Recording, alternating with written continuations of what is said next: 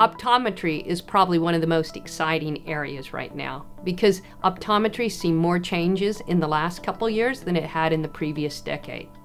What optometrists are doing, how that's changing with digitalization, technology, is really redefining the role of the optometrist. And it doesn't matter if you work in a hospital or if you work on the high street. There are tremendous opportunities for you to think about the skills you have and what you're going to do going forward. What you'll get from courses here is both a theoretical underpinning to understand the conditions and also a practical experience of treating patients, dealing with patients and answering the questions that are required for clinical management of those people out in real communities.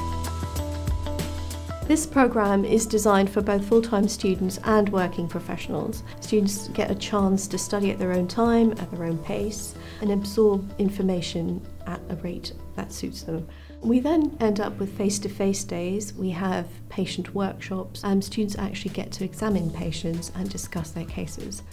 Running these courses here is going to transform the way we deliver healthcare over the next 10 years because it's really delivering skills to people who are then going to be able to care for the patients in a totally different way from what we've done in the past.